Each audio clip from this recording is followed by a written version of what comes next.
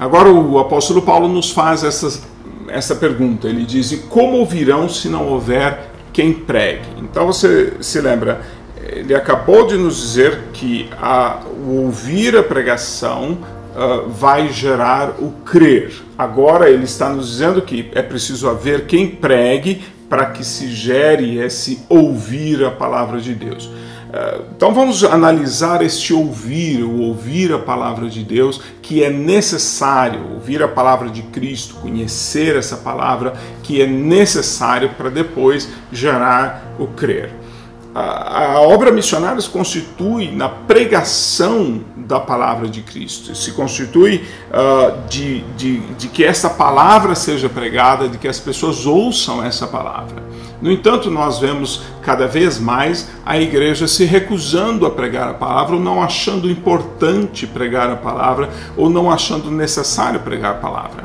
É interessante como se popularizou uma frase que se atribui a Francisco de Assis, o grande pregador da Idade Média, uh, dizendo que é necessário evangelizar. Uh, até com palavras se necessário, assim que se diz, até com palavras se necessário. Como se fosse possível pregar o evangelho sem palavras, pregar o evangelho sem eh, falar, sem efetivamente pregar. Como se os seus atos de bondade por si só eh, transmitissem toda a mensagem do evangelho. Nós não vemos isso na palavra de Deus. Mateus eh, nos, nos, dá a ideia da grande comissão eh, focando sobre o ensinar, e ensinar exige palavras. Marcos nos dá a ideia da grande comissão falando do proclamar, do, do querigma, da pregação, e isso é feito com palavras. Lucas se concentra em falar do testemunho, o testemunho de Cristo é, é também dado com palavras. E, e, João nos diz para representarmos Cristo, é, principalmente no versículo é, sublime, como o próprio Jesus dizendo: Como o Pai me enviou, eu vos envio a vós. E para que, que Jesus veio? Jesus veio para falar, Jesus veio para pregar. Lá no início de Marcos, quando os discípulos estão uh, dizendo para Jesus: Olha, tem que voltar lá em Cafarnaum, porque uh, ali começamos um grande trabalho ontem, é necessário dar continuidade a esse trabalho.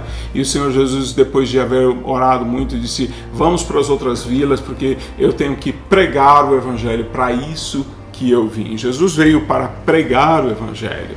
Quando Jesus está no final do seu ministério, ele disse: Olha, eu falei tudo o que o Pai mandou falar. E é assim que ele disse que havia cumprido o seu ministério. Como é que nós então podemos uh, uh, chegar à conclusão de que podemos pregar o Evangelho sem palavras? E como podemos atribuir a Francisco de Assis uma frase é, é, sendo que ele deixou tudo que tinha, segundo consta, uh, deixou tudo aquilo que tinha, inclusive a riqueza de família, para se dedicar a pregar o que ele conhecia da palavra de Deus. Isso chega a ser ridículo, nós pensarmos hoje em um evangelho que vai ser pregado uh, de alguma forma, vai ser manifesto sem palavras. O problema é que nós vivemos em uma sociedade que tem tantas palavras, que tem tanta conversa, que tem tanto, tanto escrito, que tem tanta, uh, tanto dizer, tanto falar, tanto discurso, que as palavras já perderam seu valor, as pessoas já não valorizam a palavra. Mas a palavra de Deus não é palavra de homens. A palavra de Deus é a luz. A palavra de Deus é o alimento. A palavra de Deus é a água, a palavra de Deus é o ouro, a palavra de Deus transforma, a palavra de Deus orienta, a palavra de Deus edifica.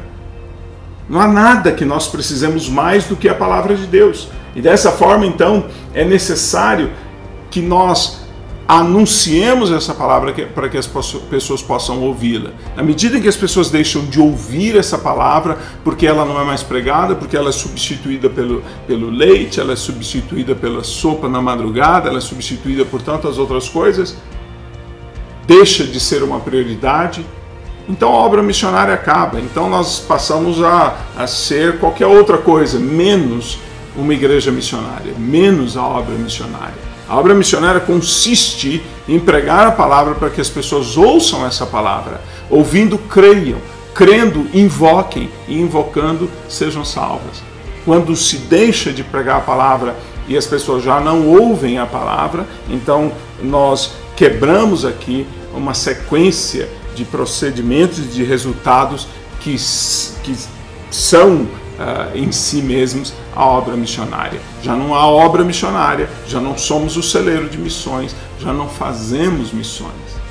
Se nós queremos uma obra missionária, é necessário, é absolutamente necessário, que nos dediquemos à pregação da palavra. A pregação da palavra precisa ser o centro de tudo que nós fazemos, precisa ser a essência da nossa missão, porque é essa palavra que gera o crer. E esse crer gera o invocar. E esse invocar, essa dependência de Deus, é que vai gerar a verdadeira salvação.